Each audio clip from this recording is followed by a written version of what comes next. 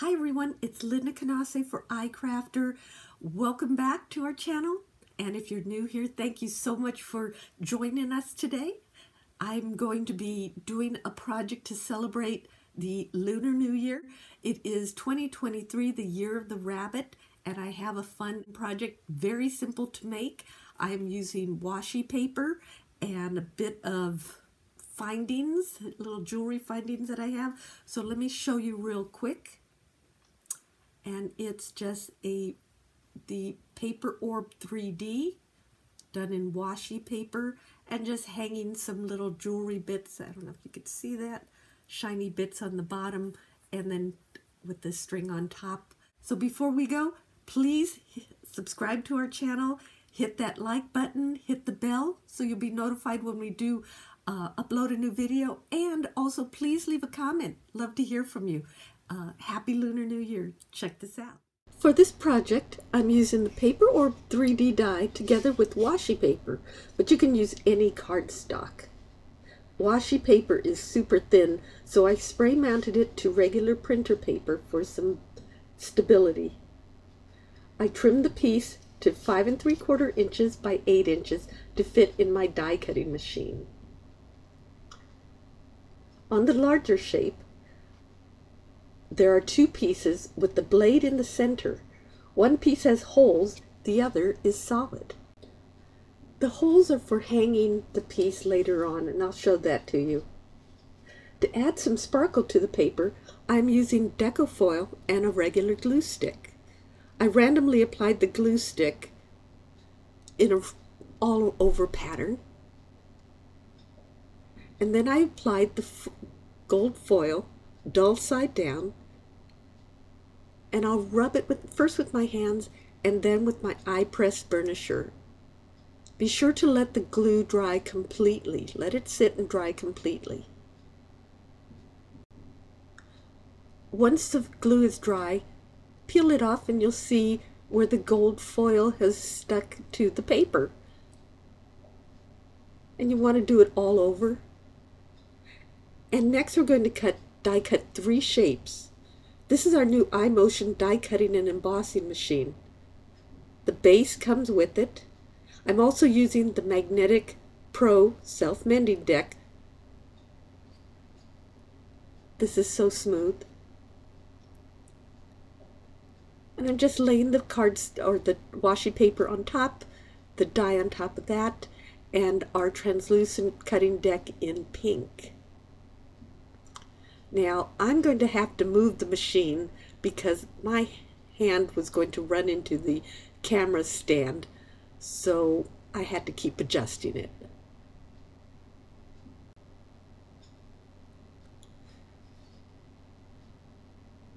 I'm sorry the camera is shaking. The stand is on the table and the table's shaking as I curl as I roll this through. Now I want you to watch how smoothly it die cut. Remove the top cutting deck and it just comes out so easily. The nice clean cut. And here are the two pieces. One with the hole, one without. And just as a side note, look at how smooth the Pro Magnetic Pro cutting deck is. No warping, no scratching. It is just so lovely to use.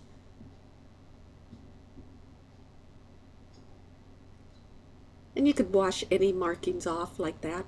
That's just paper. Okay, so on this last piece that we have, I'm going to cut one more shape and I'm going to cut it with the um, die piece that has the solid uh, curved parts, so without the holes. So I'm doing the solid part. And this is another wonderful thing about the Magnetic Pro deck. You can place it where you want and it stays put. You could adjust it as you want, but look, it just stays in place. It holds it. So if you want some accurate placement, this is perfect. So again, my translucent cutting deck on top, run it through.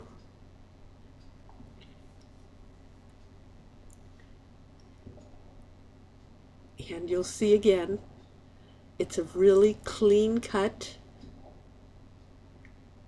And so here's the clean cut.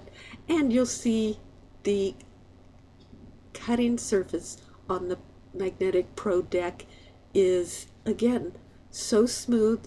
You see a little bit of lines in there but that is just paper uh, on it and it washes off. Again that's a magnetic deck. We also have a regular one. You fold it up, the iMotion machine up, lift up the handle, and now you can store it very easily. Here are the three pieces, one with the hole and two that are solid. You will also need to die cut these additional embellishing shapes. You will need, one has holes and one is solid, and you will need four pieces for each strip. So there are three strips. so you start off by folding the little glue tab. There's a quarter inch glue tab uh, on one end. And if you look at the die, you will notice these curved lines or crease lines. And so that is on the paper strip. So you want to find those and gently um, gently fold them you want to just do it like suggesting to the paper where it will crease. So you don't have to press them too hard right now. You just want to make sure the paper knows there's a crease there.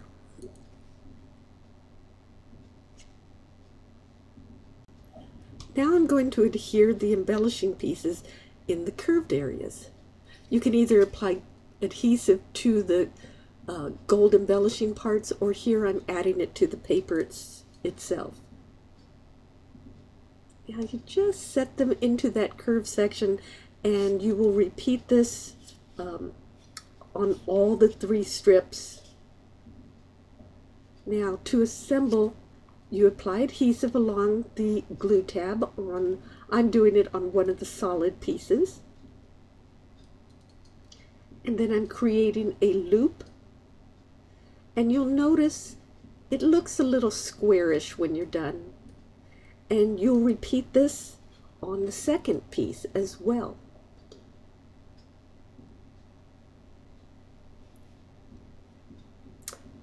Okay, so now you have two of these shapes. And what you're going to do is, you notice a seam line here, and then the gold embellished parts. You're going to overlap them and you want the gold embellished parts on one to overlap the seam section on the other. Just like that. So now it's kind of a pillowy, squarish shape, but you still have one seam showing. So we're going to cover that up with the last piece. So you don't want to apply adhesive yet on that seam you do want to fold it though. now, to start off, this is where the magic happens. You have the seam and the blank side. You're going to thread it up behind the gold embellished part and you come up there. So you want to wrap it over the seam and you go back underneath the embellished piece there. Okay, so you come up and you'll now be opposite the glue tab on the other side. Okay. So now you can apply adhesive on that glue tab and complete the loop.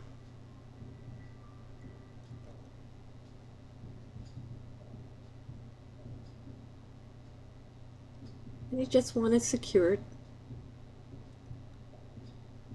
just like that. Once that's secured, Now you want to start rotating that strip so it's hidden behind, the seam is hidden behind the embellished gold layer. So you just kind of, it's not that easy, but you just kind of keep rotating it, working it as it circles around and it just goes around until the seam is hidden. And as you adjust it, you'll end up with the gold embellished sides on all visible uh, six sides. And now you can start pinching it. And it's just a gentle pinching motion, not too hard, but this is where the creases, curved creases, start showing up. And you just want to make sure they're nice and crisp.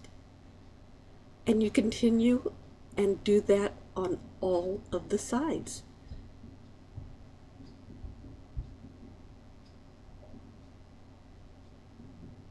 This is kind of the fun part. And you see everything starting to turn into a ball shape rather than the pillow shape.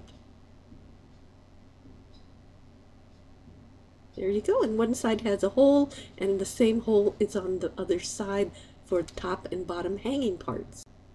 Now I'm going to start to create the hanging embellished piece. I rummaged through some old beads and some jewelry findings I found this piece here and added some gold foil to it. To attach it, I used this tiny clip pin by Tim Holtz and hooked on the dangle onto the bottom hole. You can also add a tassel, which would look really cute. And just hooks on like this.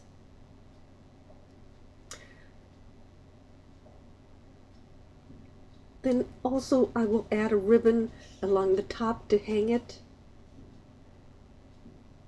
I hope you enjoyed this festive project, so please subscribe and leave a comment, and visit us at icrafter.com for more information.